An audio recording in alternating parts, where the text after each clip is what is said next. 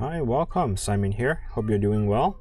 In this video, I'll be upgrading the M.2 SSD drive on this HP Pavilion laptop. Let's go ahead identify the model here. Take a look at the back of the computer. You should be able to see that it says HP 17T CN000 CT02. All right, the first thing you need to do is to remove the rubber here. So this is a stopper to prevent the computer from sliding away. There are hidden screw underneath that. So to remove it, pretty much you just have to um, get a prying tool to go underneath and pry it open. They might not have a screw here at the bottom, but we'll find out later on. Get a Phillips screwdriver. I'll be using a PH1. That's the size of the Phillips. Go ahead and remove the screws and you notice that the screws here on the top they are black and the rest of other screws are silver.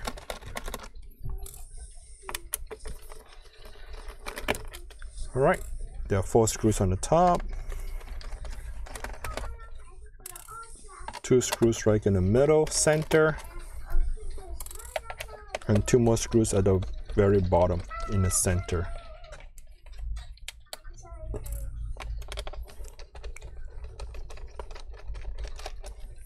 Once you have removed all of that, let's go ahead and try to pry it open. We need to remove the back cover here.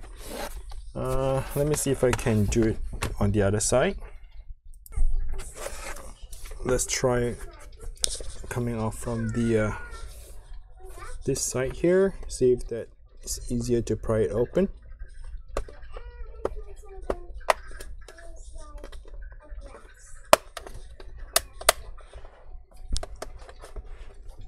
If you have a plastic prying tool that would be better.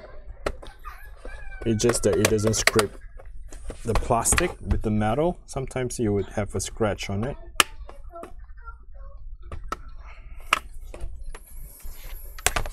It looks like it's pretty um, yep. So I guess the bottom part do have a hidden screw.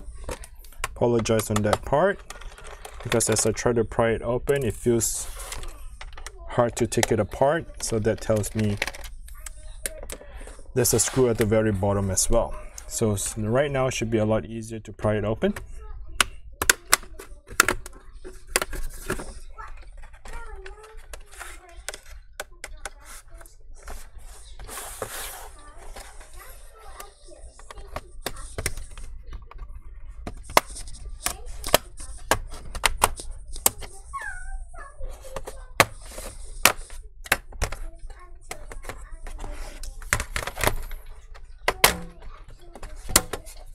right? At this point the whole back cover would just lift straight up.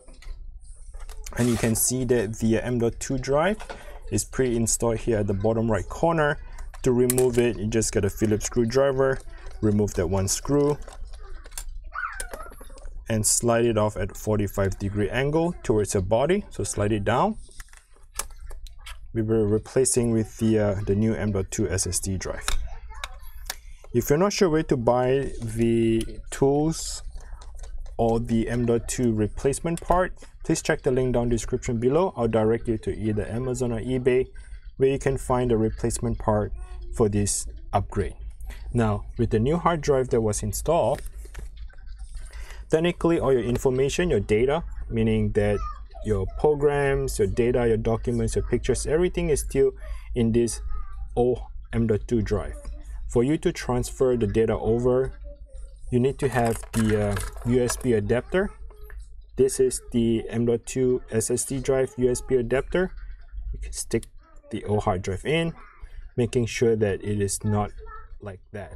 You would have to either put a, a, a rubber band around it like such to hold it down. You need to have the M.2 to be flat holding it down or you can put a screw here to lock it in with this, it's going to act like a USB drive, just like a regular thumb drive. We can stick it into the uh, any of the computer to look into your data or to transfer your data. Okay, now the question is,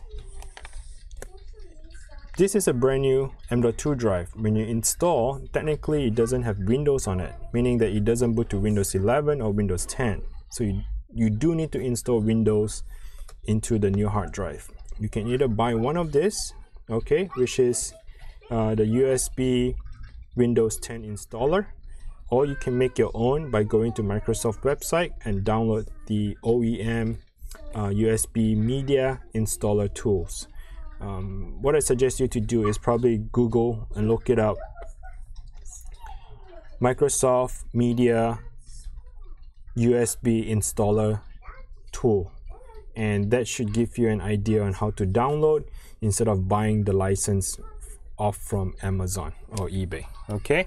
Um, if you're not sure how to do it check the link down description below or maybe just look it up on my channel on YouTube. I do make a video I did make a video of how to do it so go check it out if you're interested to to make your own USB alright once you're done with that put it all together install your Windows plug it in install the Windows into your new drive and that should be it. So I hope this video is helpful and again if you do find the video is helpful please smash the like button for me. Uh, if you if you haven't subscribed please feel free to subscribe and again if you want to show appreciation please click, click on YouTube super thanks.